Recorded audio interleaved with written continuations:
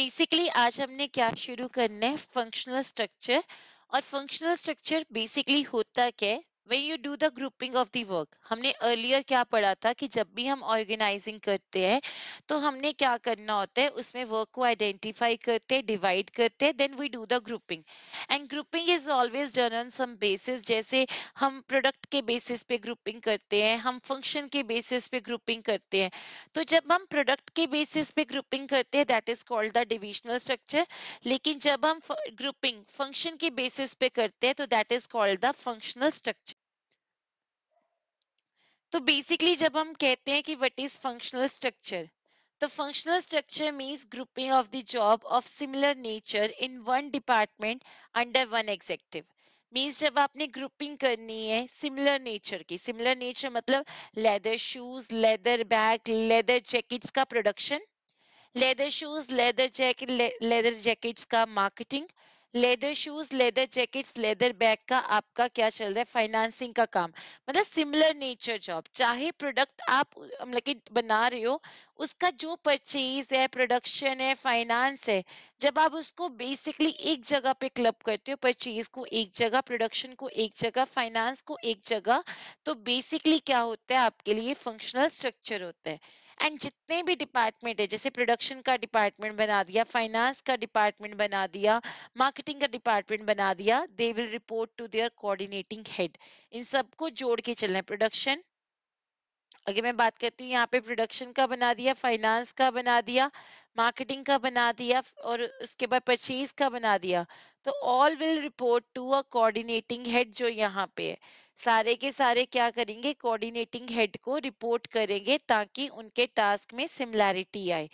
अब आगे अगर हम बात करते हैं इसकी सुटेबिलिटी की जब आपकी ऑर्गेनाइजेशन आपकी कंपनी का साइज़ लार्ज है मतलब आप बहुत बड़े लेवल पे ऑपरेट कर रहे हो then it is not possible बच्चे कि आप एक जगह पे क्या कर सको, सारा काम कर सको।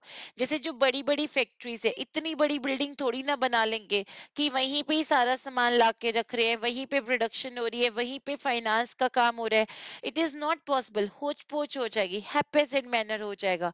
तो आप क्या करते हो? प्रोडक्शन को एक जगह पे, फाइनेंस को अलग जगह पे, मार्केटिंग को अलग जगह पे, और अगर हम बात करते हैं उसका प्रोडक्शन अलग जगह पे और जब आपकी ऑर्गेनाइजेशन को करनी भी डाइवर्सिफाइड एक्टिविटीज़ है डाइवर्सिफाइड एक्टिविटीज़ मतलब अलग अलग तरह का काम। You want to perform the different activities that is called the suitability of the that is the suitability की अगर आप ये बात करते हो कि आपका फंक्शनल स्ट्रक्चर है, वो वहाँ पे सुटेबल होगा जब आपने अलग अलग तरह की एक्टिविटीज़ करनी है। तो जब आपके अलग अलग तरह की एक्टिविटीज़ भी होती है और आपका ऑर्गेनाइजेशन का साइज़ लार्ज होता है, तब आप बेसिकली किसको सुटेबल मानते हो? फंक्शनल स्ट्रक्चर को। And one more thing very important जो बोर्ड में आ जाती है, आप देखोगे काफ़ी केस स्टडीज़ जब पढ़ोगे ना तो आपको या तो ना बोर्ड के अंदर ये नज़र आएगा कि company want to attain functional specialization या ऑक्यूपेशनल स्पेशलाइजेशन या फिर अगर बात करते एक ही तरह का सामान बन रहा होगा leather shoes leather jacket leather bags सब में एक तरह का रॉ मटेरियल होगा, तब आपका आंसर क्या होगा? फंक्शनल स्ट्रक्चर तो when task require a high degree of specialization तो वहाँ पे भी आपका कौन सा स्ट्रक्चर सुटेबल होगा? Functional structure and let me tell you बच्चे, ये एक बार बोर्ड के अंदर थ्री मार्क्स के अंदर इसकी सुटेबिलिटी थी। तो सुटेबिलिटी में आपने यही तीन पॉइंट लिखे ने, और एनसीईआरटी में भी इससे ज़्यादा नहीं लिखा हुआ। When the size of business is large when the organization has to carry out the diversified activities, when the task require the high degree of specialization. तो वहाँ पे क्या आती है सुटेबिलिटी कि आपके लिए ऑर्गेनाइजेशनल फंक्शनल स्ट्रक्चर का सुटेबिलिटी क्या है?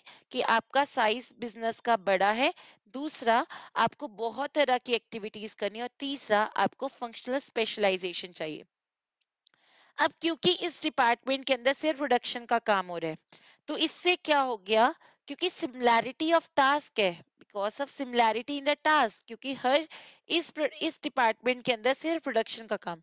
इसके अंदर फाइनेंस का काम, इसके अंदर मार्केटिंग का काम, इसके अंदर परचेज का काम, क्योंकि हर डिपार्टमेंट के अंदर सिमिलैरिटी है तो बच्चे मैनेज करना इजी है। तो यहाँ पे जब बात करते हैं because of similarity in the task control क्या हो जाता है? इजी हो जाता है कोऑर्डिनेशन क्या हो जाता है? इजी हो जाता है। अदरवाइज़ तो कंफ्यूजन रहेगी। परचेज वाला प्रोडक्शन के साथ कंफ्यूज होता रहेगा। अरे, मैंने यहाँ पे सामान रखा था अपने प्रोडक्शन का। कहा? मैंने कल रखा था परचेज मैनेजर हूँ मैं तो आपस में कंफ्यूजन होगी तो इट्स बेटर उनकी जगह अलग अलग आप कर दो। Then avoid duplication avoid duplication of effort का मतलब क्या है? आपको यहाँ पे सिर्फ़ लेदर बैग हो गया लेदर शूज़ हो गया लेदर जैकेट्स हो गई। आपको एक प्रोडक्शन मैनेजर की ज़रूरत है। आपको एक परचेज मैनेजर की ज़रूरत है, आपको एक फाइनेंस मैनेजर की ज़रूरत है। There is no duplication of effort कोई डुप्लीकेशन ऑफ़ एफर्ट नहीं है जिससे इकोनॉमीज ऑफ़ स्केल यानी आपको क्या चीज़ें पड़ती है? सस्ती, वरना leather bag leather shoes leather jackets का रखो, तीन अलग परचेज मैनेजर तीन अलग प्रोडक्शन मैनेजर तीन अलग फाइनेंस मैनेजर तीन अलग आपने क्या करने मार्केटिंग मैनेजर आपने देखा ना, कई बार क्या होता है, जैसे होशरी वाले लुधियाना में जैसे हम चलते होते हैं तो हम क्या करते हैं? जैसे होशरी के अंदर ना विंटर क्लोथ बन रहे हैं, उसमें जैकेट्स भी है और कुर्तीज भी है। तो ये नहीं होगा कि कुर्तीज और जैकेट्स के दो अलग प्रोडक्शन मैनेजर रखेंगे नो वर्कर्स ने काम करना है तो हम क्या करेंगे? एक ही मैनेजर रख लेंगे जो दोनों काम को देखेगा। इससे economies of scale no duplication of effort तो उससे क्या होगा? बिकॉज़ सिमिलैरिटी उसको पता है, उसने परचेज को देखना है।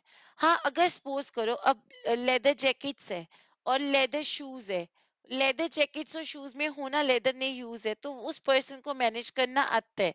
क्योंकि similarity of the raw material है। लेकिन जब हम बात करते हैं, जैसे कॉस्मेटिक बन रहा है और साथ ही साथ कौन सी चीज़ बन रही है आपकी? दैट इज़ कुकिंग का कुछ बन रहा है। तो देर इज़ नो सिमिलैरिटी तो वहाँ पे आपको दो प्रोडक्शन मैनेजर अलग रखने पड़ेंगे। तो बिकॉज़ सिमिलैरिटी ऑफ़ टास्क है, इसलिए आपको क्या होता है, वहाँ पे नो डुप्लीकेशन ऑफ़ एफर्ट और इससे इकोनॉमीज ऑफ़ स्केल आता है और कॉस्ट क्या हो जाती है? कम हो जाती है। इजी इन ट्रेनिंग ट्रेनिंग देनी इजी हो जाती है बिकॉज़ आपका फोकस किसके ऊपर होता है? लिमिटेड स्किल्स के ऊपर। प्रॉपर अटेंशन मतलब इससे क्या होता है? हर फ़ंक्शन को प्रॉपर अटेंशन मिलती है। फंक्शनल स्पेशलाइजेशन आपका फोकस स्पेसिफिक आपके फ़ंक्शन पे होता है। या तो परचेज के ऊपर होगा, या प्रोडक्शन के ऊपर होगा, या फाइनेंस के ऊपर होगा।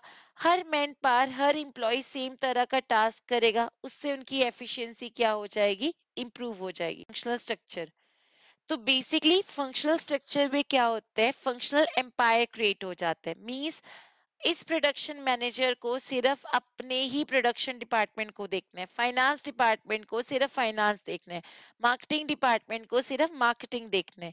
Because it's emphasized less on the organizational objective इसका लेस फोकस किसके ऊपर है? ऑर्गेनाइजेशन के ऑब्जेक्टिव के ऊपर। And more emphasis on the objective pursued by the functional head मतलब ज़्यादा फोकस किसके ऊपर है? इसका प्रोडक्शन के ऊपर है, इसका फाइनेंस के ऊपर है, इसका मार्केटिंग के ऊपर है। तो अगर हम बात करते हैं कि ज़्यादातर फोकस आपका किसके ऊपर होता है? अपने अपने डिपार्टमेंट्स के ऊपर होता है। तो यहाँ पे it pays less focus on the organizational objective and more focus on the objective pursued by the by the functional head. फिर डिफिकल्टी इन कोऑर्डिनेशन प्रॉब्लम यहाँ पे कोऑर्डिनेशन में कौन सी आती है? क्योंकि आपको information across the department exchange करनी है। प्रोडक्शन को फाइनेंस के साथ बात करनी है। फाइनेंस को मार्केटिंग के साथ बात करनी है। तो यहाँ पे जब हम बात करते हैं बिकॉज़ आपको between the different departments information को एक्सचेंज करने है तो यहाँ पे कोऑर्डिनेशन में प्रॉब्लम आती है। कई बार डिपार्टमेंट्स रेडी नहीं होते एक दूसरे से बात करने के लिए। उसके बाद डिफ़िकल्ट टू होल्ड अकाउंटेबल तो जब मैंने बेसिकली इस प्रोडक्शन मैनेजर से पूछा, भैया, आपको प्रॉफिट क्यों नहीं हुआ? तो इस प्रोडक्शन मैनेजर ने कहा, क्योंकि सर मेरे को जो फाइनेंस मैनेजर है ना, या मेरे को जो परचेज मैनेजर है, इसने सामान सही नहीं ला के दिया। तो आप बताइए कि आपको सही सामान क्यों नहीं ला दिया? क्योंकि फाइनेंस मैनेजर ने सही पैसे नहीं दिए। तो अगला पूछते हैं कि आपने क्यों नहीं सही सामान लेके दिया? मार्केटिंग डिपार्टमेंट ने बताया ही नहीं हमें किस तरह की मटेरियल की ज़रूरत है सो देट हम अकॉर्डिंगली फाइनेंस दे देते। तो ये काफ़ी प्रॉब्लम्स क्रिएट हो जाती है बिकॉज़ डिफरेंट डिपार्टमेंट्स है इंफॉर्मेशन एक्सचेंज करनी है, और उसमें अगर कंपनी अनसक्सेसफुल होती है तो ये एक दूसरे के ऊपर शिफ्ट कर देते हैं। इसकी वजह से काम नहीं हुआ, उसकी वजह से काम नहीं हुआ। प्रोडक्शन डिपार्टमेंट ये कह रहा है क्योंकि परचेज सही सामान नहीं लाया।